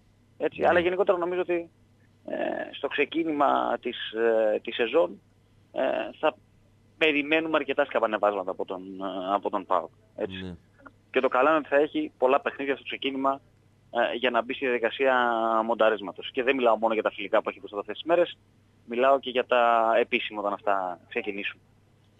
Το βρενό φιλικό με τη Λεύσκη λογικά θα είναι πιο δυνατό, φαντάζομαι. Ναι, ναι, ναι, ναι είναι πιο δυνατό. Θα Εντάξει, η Βουλγάρικη ομάδα είναι κανονική ομάδα ε, με, και με αρκετούς ξένους. Νομίζω ότι σήμερα θα δώσει ένα φιλικό με τον Ηρακλή. Η Λεύσκη είναι εδώ δύο μέρες για κάποια φιλικά. Ε, είναι σίγουρα ένα πιο, πιο, δυνατό, πιο δυνατό τεστ από αυτό το χθεσινό με την Ναι, εντάξει, με είναι την μια ομάδα. Ελευθερόπολη. Νομίζω φέτος δεν ανέβηκε στην Α2. Ναι, η Ελευθερούπολη φέτος ανέβηκε στην Α2, ναι. Εντάξει, ναι. οκ. Δεν ήταν και μια ομάδα δηλαδή Β' γάμα εθνικής. Όχι, όχι. Είναι μια όχι. ομάδα, οκ, με τους δικούς στόχους στην Α2. Δεν μπορώ να ξέρω, δεν ξέρω αν ξέρεις εσύ ποιοι είναι οι στόχοι της στην Α2, αν θα διεκδικήσει Εντάξει, κάτι απλά καλό ή θα πάει για την συνηθίζεται, παραμονή. συνηθίζεται το πρώτο φιλικό να είναι έτσι λίγο με αντίπαλο έτσι χαμηλότερης Ναι. δυναμικότητας. Ε, γιατί ουσιαστικά δεν σε ενδιαφέρει τόσο πολύ το, το σκορ, πιο πολύ σε ενδιαφέρει έτσι, να, να φύγει ο παίχτης από τη διαδικασία της προπόνησης της καθημερινής και να δεις τι βγαίνει στο, στο γήπεδο και στο παιχνίδι. Εντάξει, θα περιμένουμε και το, φι- το αυριανό φιλικό και πόσο μάλλον τα, μα, τα, μαυρα, τα μαυροσκούφια να έχουμε και εικόνα από την ομάδα. Μμμ. Μεταγραφές έχουν κλείσει έτσι δεν είναι, δεν περιμένουμε κάτι φαντάζομαι. Εκτός συγκλονιστικού απρόπτου έχει, έχει κλείσει το, το ροστερ και αλλιώς ε, στο κομμάτι των ξένων ο αριθμός έχει κλείσει. Έτσι, Ναι. Οι έξι ξένοι έχουν αποκτηθεί. Τώρα αν υπάρχουν προϋποθέσεις, ε, προκύψει κάτι από την ελληνική αγορά που ε, να είναι βέβαια και οικονομικά προσιτό γιατί ο βέβαια. ΠΑΟΚ ουσιαστικά το budget το έχει κλείσει για την επόμενη σεζόν. Ε, μπορεί να το ξανασυζητήσουμε αλλά δεν φαίνεται να, να προκύπτει κάτι. Υπάρχει Έτσι, αλλά κάποια ενδιαφέρουσα περίπτωση στην ελληνική αγορά αυτή τη στιγμή. Μπα, δύσκολο. δεν ξέρω, λέω κάτι. Ε, από όσο ξέρω, ο Γιάνκοβιτς παραμένει στην αγορά. Ο Σακελαρίου παραμένει στην αγορά. Ε, αλλά δεν, ε, δεν νομίζω ότι ε, μπορεί να, να, να γίνει κάτι. Θα, θα είναι έκπληξη αν γίνει κάτι. Δεν μπορώ να το αποκλείσω. Έτσι, Ναι, όταν ναι, μιλάμε εντάξει. για μια κατάσταση που είναι πάντα ανοιχτή, το μεταγραφικό κομμάτι. Ε, αλλά είναι... Ε, ε, σήμερα που μιλάμε δίνω λίγες πιθανότητες. Δεν μπορώ να τα αποκλείσω στην πορεία, λίγο πριν ξεκινήσω το πρωτάθλημα αν προκύψει κάτι, αλλά δεν φαίνεται να, να υπάρχει κάτι στη δεδομένη χρονική στιγμή. Για παίκτες που έτσι μπορεί να είναι ελεύθεροι και να προκύψουν στο τέλος. Ναι. Θα δούμε, εντάξει, τώρα ας δούμε το ορεινό φιλικό, ας δούμε και τα, μα- τα μαυροσκούφια, πώς θα μονταριστεί η ομάδα. Βλέποντας και κάνω. Έχεις έχεις κάποιο σχόλιο για το παγκόσμιο πρωτάθλημα; Το παγκόσμιο πρωτάθλημα, ε.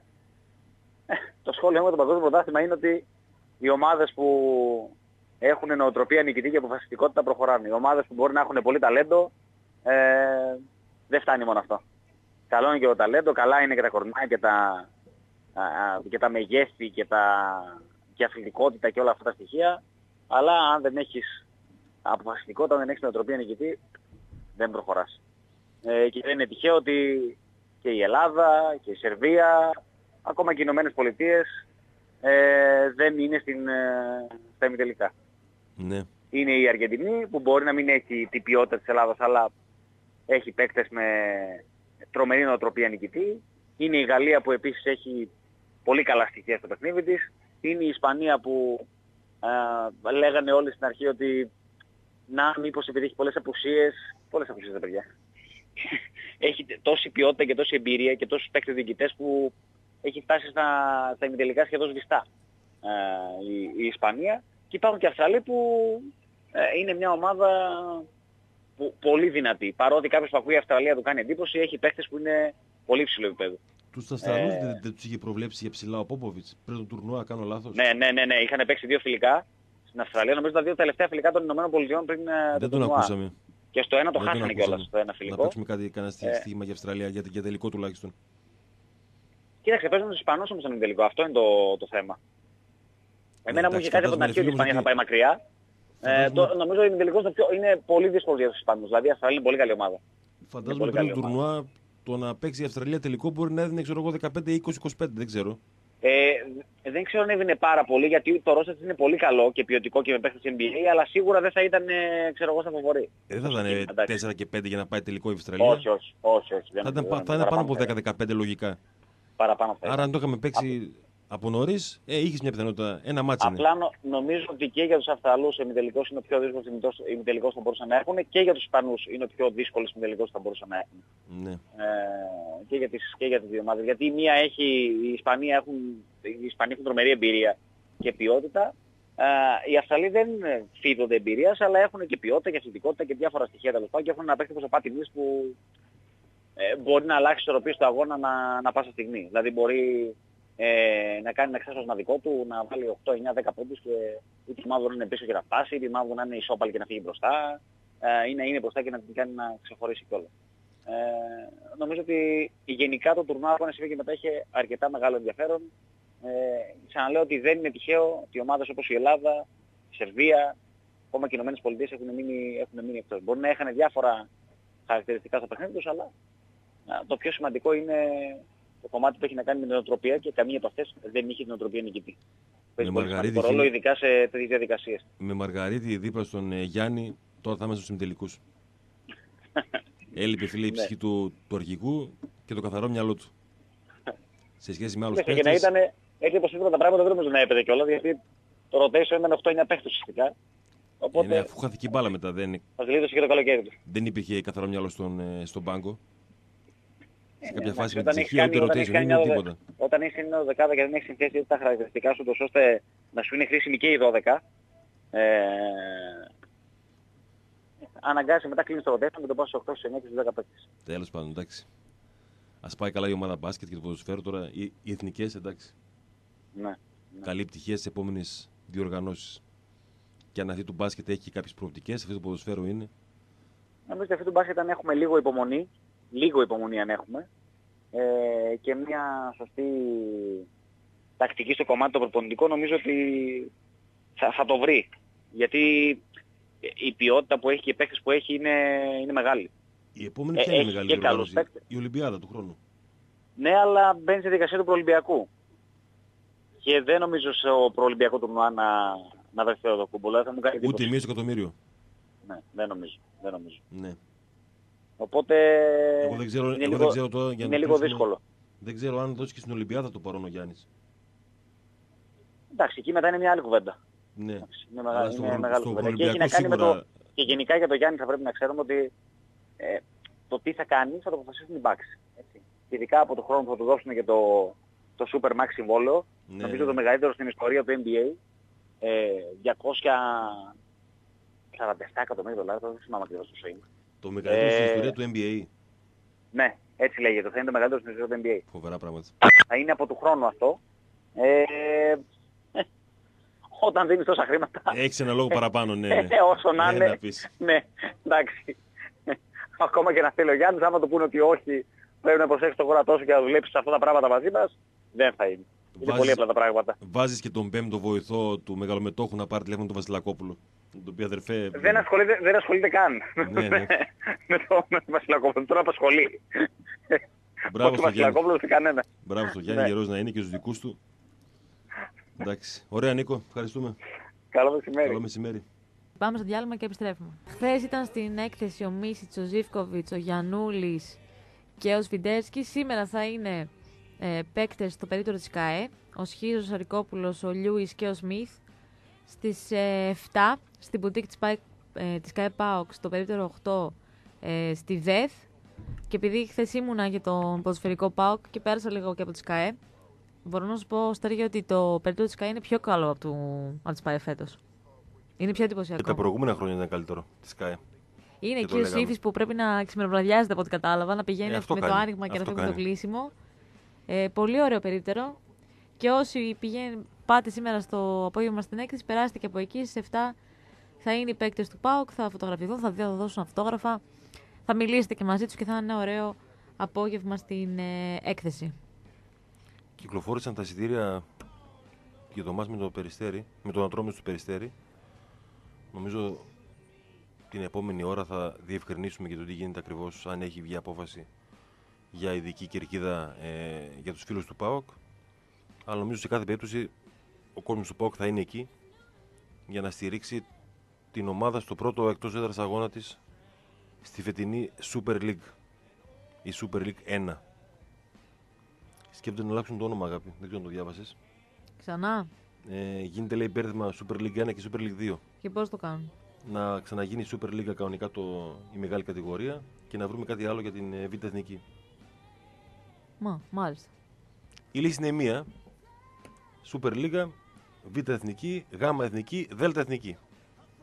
Αλλά προφανώς επειδή έχουμε λίγο, ναι, το ψάχνουμε κάπως αλλιώς, έχουμε να λύσουμε 50 θέματα τα οποία παραμένουν άλυτα εδώ και χρόνια το θέμα μας είναι οι ονομασίες.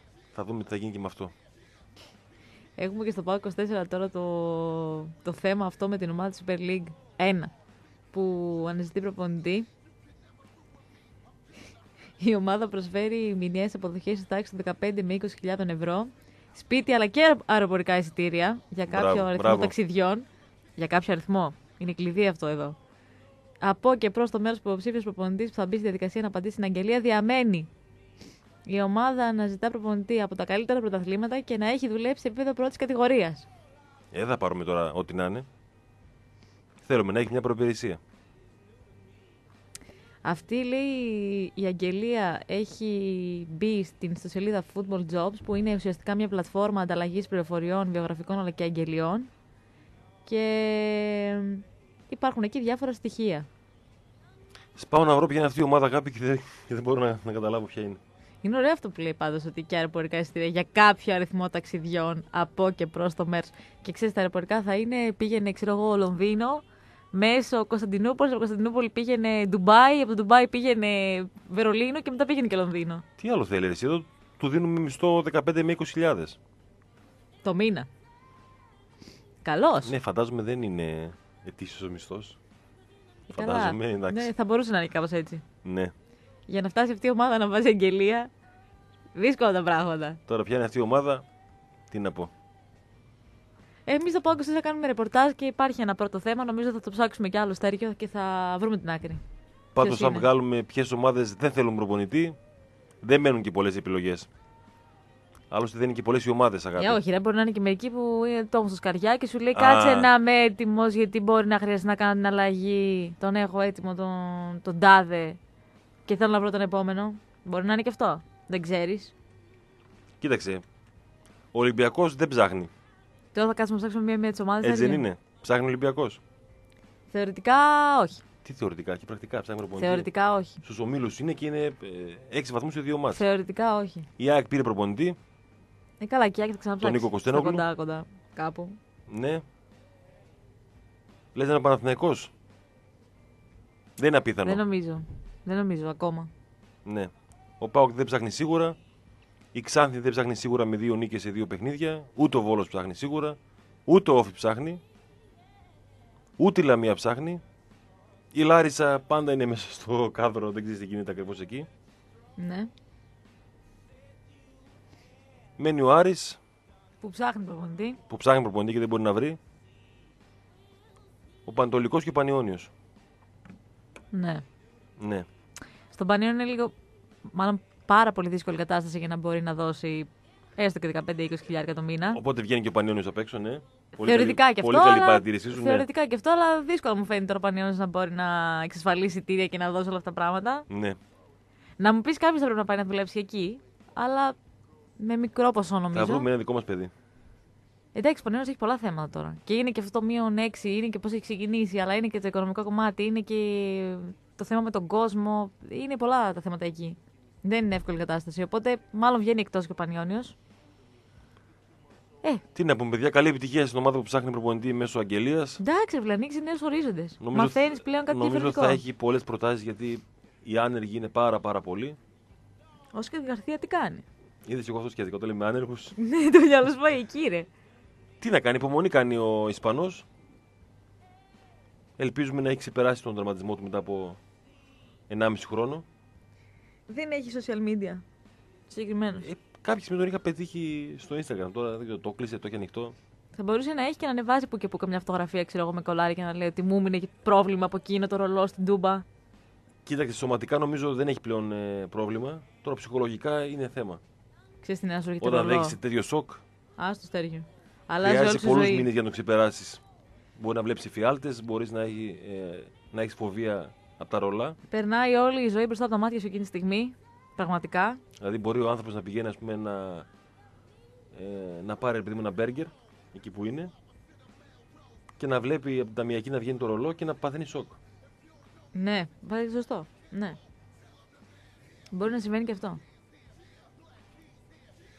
Δεν τα αποκλείω. Κουράγιο στον ε, Όσκαρ Γκαρθία. Πάντω, αν μας ακούει κάποιος δικός του, ας κάνει μια, ένα αίτημα, μια απάντηση στην αγγελία αυτή. Δεν ξέρεις τι γίνεται. Αφού λέει ότι. Μπορεί η ομάδα που ψάχνει προπονητή να έχει καλέ σχέσει με τον Ολυμπιακό. Στον Ολυμπιακό νομίζω εκτιμούν τις ικανότητές του. Θέλουν έμπειρο, ρε. Τις υποκριτι... Τι έμπειρος είναι. Δεν είναι έμπειρος. Γκαρδιά. Έχει δουλέψει η ομάδα πρώτης κατηγορίας. Ένας φίλος στέλνει μήνυμα, αλλά δεν μπορώ να το διαβάσω στον αέρα. Δεν γίνεται, φίλε. Ναι. Όχι για τον Καρθία. Δεν διαβάζετε. Καλό όμως, καλό. Και ξαναλέω, αν η ομάδα που ψάχνει προπονητή έχει καλές σχέσεις με τον Ολυμπιακό, στον Ολυμπιακό εκτιμάνε τις ικανότητες τις υποκριτικές του Γκαρθία. Έχει δουλέψει και σε πρώτη ομάδα, στη μεγαλύτερη κατηγορία. Μια χαρά είναι.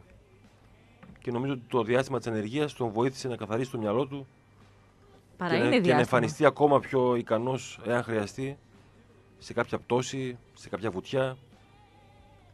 Εντάξει, δεν ξέρω αν πηγαίνει σε εργαστήρι θεατρικών σπουδών, εκεί που είναι, στην Ισπανία ή πραγματικά δεν ξέρω που, που βρίσκεται γιατί δεν με ενδιαφέρει. Αλλά ίσως αξίζει και μια δεύτερη ευκαιρία στη χώρα μας ο Όσκαρ Γκαρθία.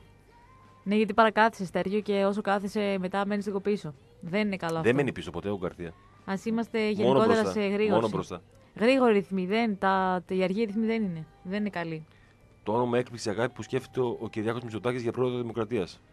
Ποιο; Βαγγέλη Μαρινάκη. Όχι. Θα, θα, θα μπορούσε να είναι και αυτό. Λίγο και εγώ ρε, εσύ. Ε, Άννα Διαματοπούλου. Ναι. Ε, τι ξέρω ωραία. εγώ, καλά θα είναι. Δεν ξέρω από αυτά, Στέργιο. Δεν παίρνω, δεν παίρνω θέση. Ε, από αυτά δεν ξέρεις. Από τρίκαλα δεν ξέρεις; Δεν ασχολούμαι με αυτά. Όχι, όχι. Δεν είναι για μένα τα πολιτικά. δεν είναι για σένα, εντάξει, ωραία. όχι, όχι. Εντάξει. Μακριά, μακριά. Για τον μπάσκετ τα είπαμε. Νομίζω μπαίνουμε σιγά σιγά σε μια φάση που θα ξεκινήσουν σιγά σιγά και οι ομάδες του ε, Ερασιτέχνη ΠΑΟΚ. Έχει δύο φιλικά τώρα νομίζω το γυναικείο handball, αν θυμάμαι καλά. Αύριο θα μιλήσουμε με τον Ραφαήλ γιατί θα είναι και στη δικασία να πηγαίνει προς Βέρεια. Πάλι χαρά. αν θυμάμαι καλά. Ένα είναι αύριο και ένα είναι την Κυριακή. Φιλικά. Για την ε, γυναικεία ομάδα. Ο Ραφαήλ θα είναι και στα δύο. Ρεβανί να μας φέρει. Κάτσε ρε, εγώ του δώσω στον Ραφαήλ 10 ευρώ, ξέρω εγώ, θα σου φέρει πίσω στα 9. Ε, με τα 9 να πάρει ρεβανί. Από συγκεκριμένο κατάστημα, εντάξει. Α, έχεις και συγκεκριμένη προτίμηση. Κοίταξε, όταν πρωτοπήγα στη Βέρεια Ναι. για αποστολή 2002, 2003, δεν θυμάμαι πότε ήταν. Είχα κάποιες παραγγελίες να πάρω ρεβανί από ένα συγκεκριμένο κατάστημα. Ναι. Δεν ήξερα εγώ τι γίνεται στη Βέρεια με τα ρεβανί. Δεν με βόλεψε να πάω σε αυτό το κατάστημα στο κέντρο Ναι. και ολοκλήρωσα την παραγγελία από ένα κατάστημα όπως βγαίνεις από τη Βέρεια που έχεις σειρά. Ναι, ναι, ναι, ναι. 50 Τα πρώτα, μαγαζιά. ναι. Στο δεξί σου χέρι. Μια απογοήτευση αυτός που το πήγα και μου λέει δεν πήρες από εκεί που σου είπα. Όχι. Γιατί λέω έχει διαφορά. Και τελικά την επόμενη χρονιά πήρα από το συγκεκριμένο κατάστημα και είχε διαφορά. Πω, πω, να είχαμε τώρα να είναι βανί. Πω. Κακό αυτό. Να κάνει να φτιάξεις αγάπη. Ναι, ρε, εδώ τα, Να, τα κατε... απλά να δεν- κατεβάσεις τη συνταγή, έτσι δεν Τα είναι; απλά δεν κάνω, θα κάνω ρεβανί. Α πάει, θα χρησιμοποιήσω παρέα. Μπράβο, Αναστασία, δικιά μα. Εντάξει. Όλα καλά, το βρήκαμε. Λοιπόν, φτάνουμε σιγά σιγά στο τέλος και από σήμερα στην παρέα μας είναι η Be Easy που σας δίνει τη λύση γιατί κατανοώ και καταλαβαίνω και το αισθάνομαι κιόλας ότι η εποχή του Web TV έχει έρθει. Ο Βαρέλα προμονήθηκε κανονικά με την ομάδα χωρίς πρόβλημα, άρα ουσιαστικά είναι διαθέσιμο σε πρώτη φάση για το παιχνίδι του Σαββάτου. Καλό είναι αυτό. Ο Αουγκούστο και ο Καντουρί ολοκλήρωσαν το μεγαλύτερο μέρος της προπόνησης, έκαναν κάποια σημαντικά τεστ αναφερειοπάω και ετοιμότητας και από αύριο θα δοκιμάσουν να ακολουθήσουν το κανονικό πρόγραμμα της ομάδας, αλλά αυτή δύσκολα. Είναι Μάλλον δεδομένο δεν ότι προλαβαίνουν δεν να είναι προλαβαίνουν. για το Σάββατο. Άλλη μια προπόνηση αύριο το πρωί στις 10 και 4 και το απόγευμα η ομάδα αναχωρεί για την Αθήνα. Μια χαρά. Ευχάριστα λοιπόν τα νέα για τον Φερνάντο Βαρέλα. Εγώ θα ξαναπώ, η δική μου εκτίμηση είναι, θα δούμε αν προκύπτει κάτι άλλο, αν έκανε κάποια δοκιμή, κάποια άσκηση που να βγαίνει κάποιο συμπέρασμα, ότι ο Βαρέλα θα ακολουθήσει την ομάδα και θα παραμείνει στον πάγκο. Θα δούμε δίδυμο ε, Άνχελ Κρέσπο με Ίνγκι Ίνγκασον.